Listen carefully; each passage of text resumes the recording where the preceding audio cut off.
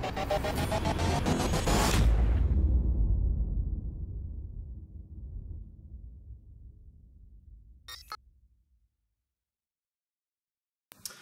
it's Brendan here from Strength and Conditioning Education and the Accelerated Strength and Conditioning Mentorship Program. And we've been getting questions in from people about different things related to becoming a, a better coach, to furthering your career, to improving your business. So rather than sort of answer one email and, and then have to do that again and again and again, I thought it'd be better to really just put together a bit of a series of, of frequently asked questions, FAQs, and we're going to title this series the Coach Development Series, funnily enough.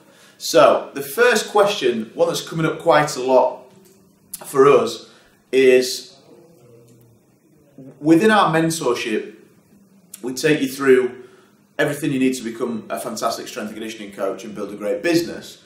And part of that is giving you a qualification in strength and conditioning, which is a level three qualification. And so we've been getting this question about level three versus level three, I want to call it. Level three PT versus level three strength and conditioning. And I wanted just to address essentially some of the, the key differences there that are important to, to understand and, and to, to, to apply. So I think first things first, they are chalk and cheese, genuinely chalk and cheese. The only thing in common with the two of them is the fact that they both say level three in the title. And the reason they're chalk and cheese is because the strength and conditioning qualification that we offer is through First for Sport and it's a actual coaching badge.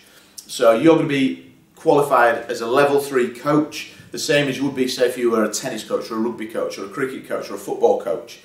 Level three is a pretty good level. It's a, it's a senior coaching credential and you can crack on and do your own thing with that. But intrinsically within that qualification, it is about coaching. And coaching is about taking people from A to B and from for, for about, about applying the principles of coaching and through strength and conditioning. The level three personal training is is really not about that. It's it's very specific personal training and will allow you to work with those clients at the end of it and be a personal trainer. Strength conditioning we offer a very thorough process to take you right through that coaching credential, as well as add the really in-depth understanding of just how to get results and how to be, first and foremost, a coach. So if you're looking to, to help people from A to B, to really guide them, to accelerate their development, like we accelerate yours on the mentorship program, then a coaching qualification really does stand you in good stead for that. Uh, First for Sport are a great governing body they work with British tennis and British weightlifting and uh, rowing and rugby union and, and all the other major, major governing bodies. So you're looked after, it's credible on that standpoint, but also through our mentorship process, you get so much more than a coaching qualification. It's a real process that a coaching qualification is just a part of.